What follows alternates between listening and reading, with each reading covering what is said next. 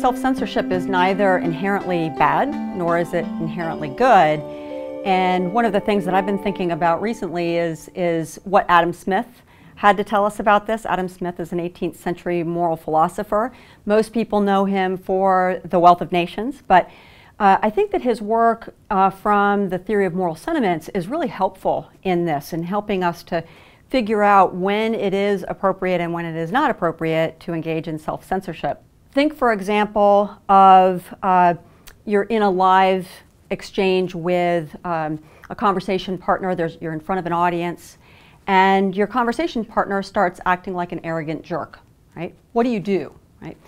We, our first impulse might be to sort of mirror that behavior, to, uh, to kind of jump in and start being an arrogant jerk back, right? But if we're, um, you know, kind of wise to the ways of the world, you know, we tend to say maybe that's not the right thing to do, right? And what we're doing here is we're engaging what Smith called the impartial spectator. And we start to view our own conduct through, not through our own eyes, which is, tends to be partial, we tend to be too forgiving of ourselves, but uh, through the eyes of somebody else. And the really wise scholar is not going to, or the really wise person in this conversation, is not going to just look at uh, our conduct from the vantage point of our conversation partner, who's being such an arrogant jerk, we're going to be looking at our conduct from the standpoint of the audience. Um, if it's in an academic setting, it would be that general academic audience. And we would imagine ourselves switching places with them, right? And then looking at our, our prospective conduct, kind of doing the gut check. Is, my, is what I'm about to say um, appropriate? Is it proper? Is it in alignment with what's expected of me as a, a student or as a scholar? And that helps us by switching, by imagining that we're switching places, that helps us to uh, uh, kind of find the uh, right thing to do, right, which is to say, I want to continue to be in alignment with what's expected within the general academic public, but also it, it helps us to muster up the restraint uh, to dampen down our emotions. And this is what Smith called self-command, right? Um, so those are, that's, that's one thing that we need to recognize is that in that moment, we're engaging in a form of, of self-censorship there. We're, we're censoring or dampening down what would have been our immediate response. That's a good thing. This is really important. I mean, Smith's entire theory of how we are able to live in a world where we are governed by moral principles depends on us being, being able to align our conduct with what's expected in society generally. So this is really, really important. But let's imagine a, a different scenario, right, where you're again uh, in an exchange with uh, a fellow scholar or a classmate, and there are onlookers, right? And this time, uh, you're getting challenged in ways that are really confrontational, not just by your conversation partner, but by the, the whole audience, the whole classroom. Uh, perhaps the Twitter sphere is lighting up with condemnation of you and your position, right? What do you do in that case, right?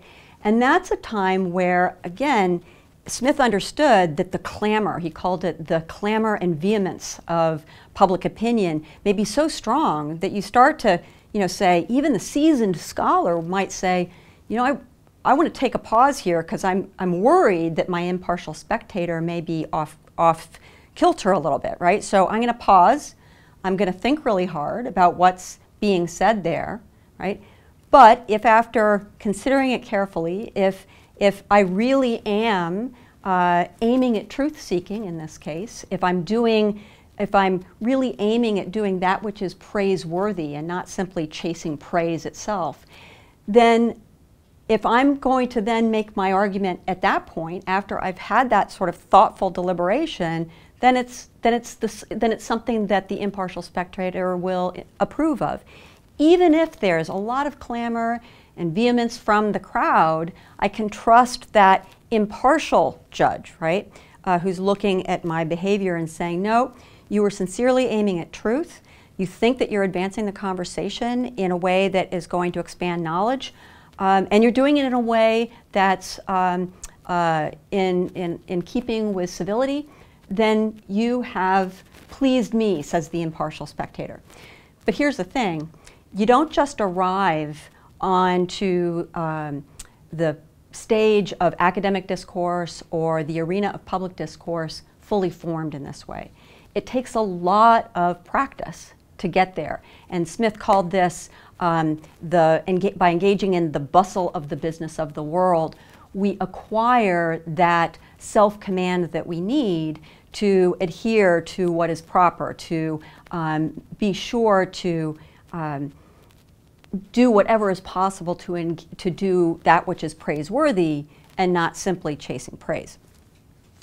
And so that to me suggests that we need to be really thoughtful about developing in our students, with our colleagues, in ourselves, that sense of self command that allows us to take a breath, right? Really assess whether or not uh, what we're about to say is in alignment with or in, in uh, opposition to what would be expected of any civil scholar, right, who's uh, out there in the world, whether it's a student or whether it's a professor.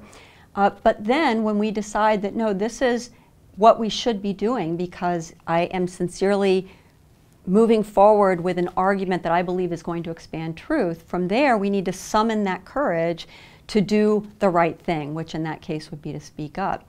And that takes reps. It's like, a, it's like an athlete, right? Um, that it, an accomplished athlete drills so many times, they get that sort of muscle memory where when it's really difficult to do something in the moment of the big game day, it feels actually pretty easy to do because they've done it so many times before. And so similarly, we need to become practiced in exercising this, this skill of switching places and really assessing our conduct from the vantage point, sometimes of the general public, but also sometimes from that, that impartial, well-informed judge that is going to give us an honest assessment of our conduct despite what the clamor and vehemence of the crowd might say.